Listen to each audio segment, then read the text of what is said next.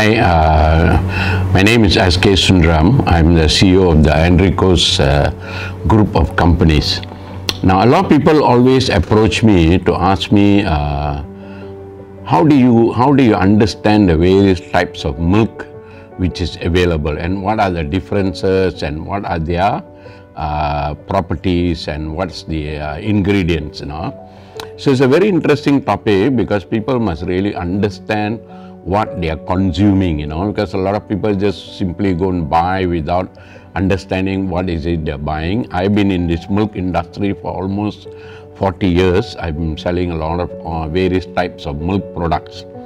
Now, of course, uh, as all of us know, uh, when we talk about milk, we believe that it's uh, milk from the cow. Now, whether it's right or wrong, that is something which everybody has to make their own judgment. Some are vegetarian, some are vegans, and they don't believe in any animal-based thing. But uh, today we're not here to talk about that. We're just going to talk about differentiating between the different types of milk. Now, uh, since we have, I'm, I'm in my in my talk today, I'm talking about milk which is coming from the cows. You know. Now, the first category is of course fresh milk. Uh, fresh milk, as we know, is from the cows and then it's sold in the form of a fresh milk. Now, it's sold as in packets or even in this type of packaging. And uh, when it's sold in this type of packaging, the shelf life is short and we can get fresh milk from the various dairy farms in the country. Now, the second type is called the UHT milk. This is a UHT milk. The word UHT means ultra heat treatment, ultra heat treatment, which means they take the fresh milk. If we don't, uh, if we don't, uh, if we don't boil it and take away all the microbes and all that from there, it will get spoiled very fast. Therefore, they go through a process called ultra heat treatment.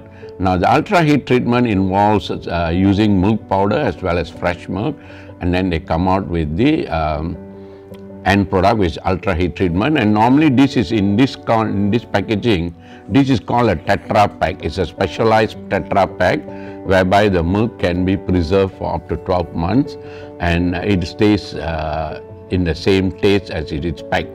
Now this is uh, this is uh, like I said is ultra heat treatment UHT milk.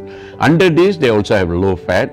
Uh, the word low fat always refers to reducing the fat content in the milk now all of us got to understand that basically milk, fresh milk, powder milk, UHT milk in its original form usually will have 27% fats in it and about 23 to 24% protein in it now. So that is the, uh, the normal composition.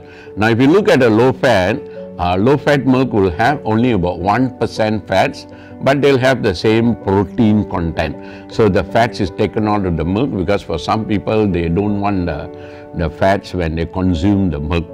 Now like I said this is the uh, UHT milk. Uh, again, uh, this is, uh, we have it under Enrico's brand.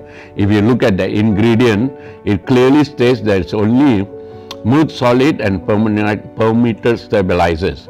So it's only milk plus stabilizers so that it is made to uh, to make it last, I mean not make it last longer but stabilize the product. Now this is usually sold in two, for uh, lifespan or 12 months. Now the second, after we have uh, finished this, then we come on to the second type of milk which is uh, a lot of people are using is the milk in the tin cans. Now if you look at it, um, if you look at it, uh, don't worry about the brand, but the wording here says creamer manis or it says sweetened creamer. It does not anywhere in the label it says that it is milk, you know. It's never mentioned here as milk. Why? Because this is what is causing a lot of people uh, health issues in uh, right now. Now, if you look at this product, uh, I'll zoom the ingredients and show to a lot of you. The number one ingredient in this package, in this product is sugar and then water and then milk solids and then Mind you, it says palm oil and then lecithin. Lecithin usually make it uh, easily dissolvable and a little bit of vitamin. So nowhere in this does it say it's milk. It just says sweetened creamer. Now if you go back many years ago, there was a product called Milkmaid and that was really a, uh, really the original uh, milk, milk in, in the can. But nowadays it's called creamer. Creamer is always made with palm oil or a product called non-dairy creamer. Uh, if you know coffee mate, uh, the coffee mate is made from palm oil uh, fats, you know, so it's not made from milk fat. Now, milk fat is this is milk fat, this is not milk fat, it is made from non-dairy creamer. That means it's a fats made from palm oil. That's why it clearly says the sugar and palm oil. That's why when you go to a coffee shop, you order teh tare, kopi tare, whatever, and you say kurang manis, it cannot be kurang manis because the sugar is already in the can. Now there is no brand of milk powder in Malaysia. Even the Milkmaid has now become a sweetened creamer and is made with palm oil and sugar in it. So anybody who's consuming this, uh, you, you, you will know that it's made from palm oil and it's got sugar into it. No? So it's not made from milk. Good or bad, I'm not saying that. I'm just telling you how it is being made. Uh, so that's why people are trying to control uh, their diabetic levels and then they're trying to take uh, with till milk. You cannot because sugar is already there. Now this product does not have sugar in it, this uh, thing. Now next to it is the most common thing which a lot of people consume is this thing called milk powders. Now again if you look at milk powders, if you go to the supermarket shelf or you go to the shop shelf, shelf you see them selling a lot of uh, various types of milk powder. Now, the most important word you must look for when you're buying milk powder is this word here called Susu Tepung Penuh Cream or full cream milk powder. Full cream milk powder. If you don't see the word full cream and if they just put their milk powder, then it becomes like this now. Then if you read the ingredient, uh, again, if you see, there are most of the brands sold in the market today does not carry the word full cream milk powder, but it just says the word milk powder.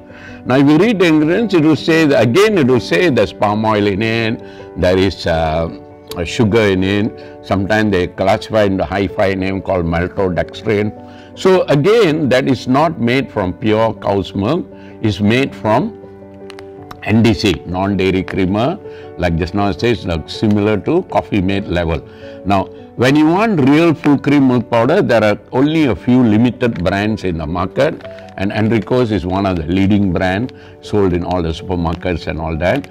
And if you, if you really read the ingredient, it says, it just says whole milk powder, soy lecithin, vitamin A and D3. Now, why soy lecithin? Soy lecithin to make it become instant. What's the difference between instant and non-instant? Instant means the milk powder dissolve in water, uh, plain water as well as warm water and hot water. If it is just uh, the word instant is not there, then it will only dissolve in hot water. So this is the difference. So to make it instant, to instantize it, they use this soy lecithin which is of vegetable origin. Now, so like I said, when you're buying your milk powders, please, please check the label.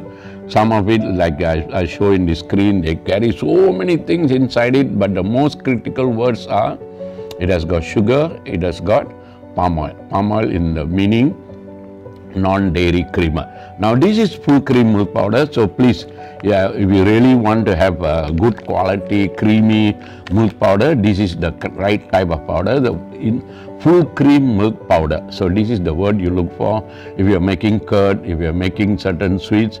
This, this quality of milk powder is definitely the uh, best to use because then you're really getting milk powder. Buying anything else, then you're not getting that full cream effect into your milk powder.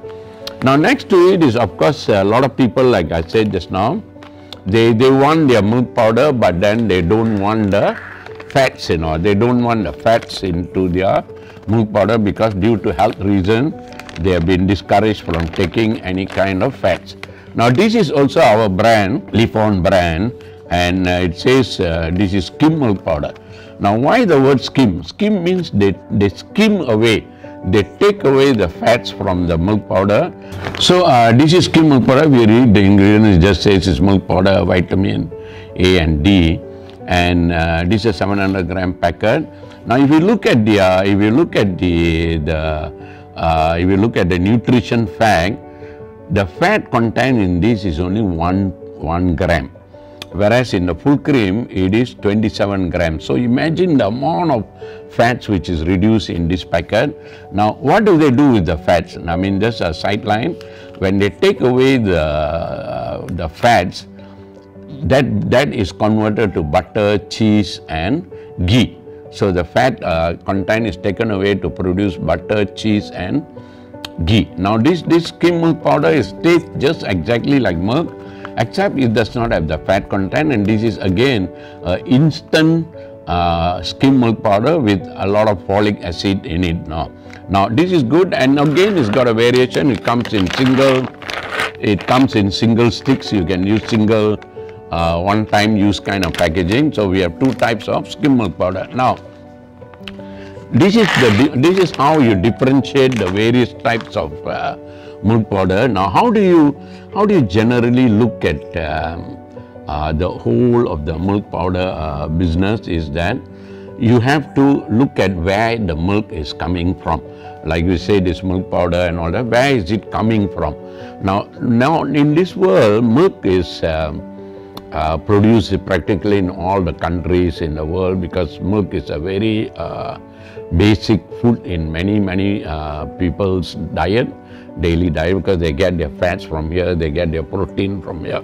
Now, uh, but in the world, the, there are two countries where the, the, the milk is considered as very uh, high end in quality, which is New Zealand and Australia, because these two are the countries where milk is produced by cows which graze on green grass because they have a lot of fresh grass available there. The climate permits for fresh grass always, so they're always eating fresh grass and they're producing milk from uh, after eating uh, such kind of fresh grass and they drink fresh water. Now many other places, if you go to countries where the, like in Europe and uh, US and uh, even in India, climatic conditions makes it not easy for them to have green grass throughout the year.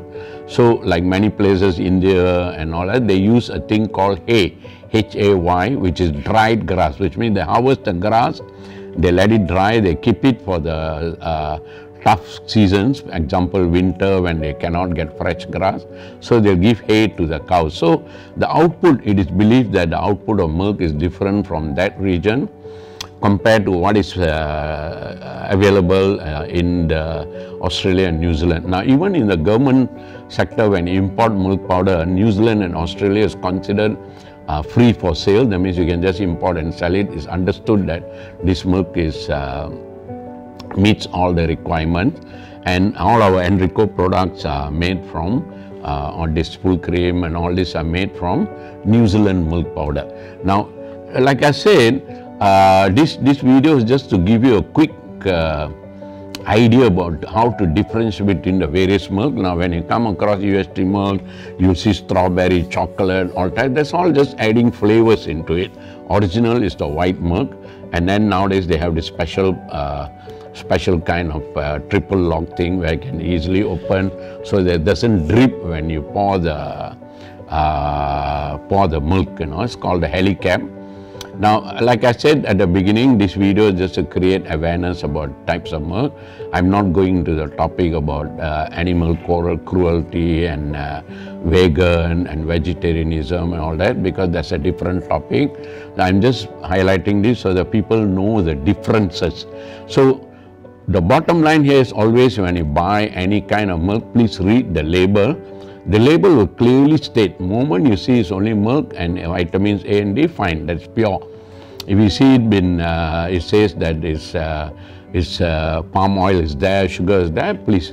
It's a different type. It's not from cow's milk. It's from other types of uh, other origin, non-dairy creamer, NDC. That means it's made from non-milk based kind of products. So I hope this information, this knowledge is, uh, helps you when you are choosing your the right type of milk you want and uh, enjoy the best quality and make sure that you're always getting the uh, value for the money which you're spending to buy the product. Thank you and have a great day. Bye.